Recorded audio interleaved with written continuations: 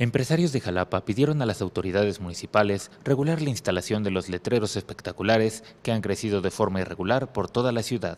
En entrevista, el presidente de Coparmex, Augusto Octavio Jiménez, aseguró que su desmedida instalación ha provocado problemas en la seguridad de la ciudad, según planteó el Consejo Coordinador Empresarial al Ayuntamiento.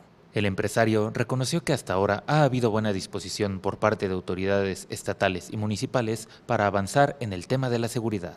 Lo que realmente estamos solicitando y solicitamos, perdón, al alcalde es que se regulen los anuncios luminosos porque hay anuncios muy grandes que están bloqueando las cámaras de seguridad.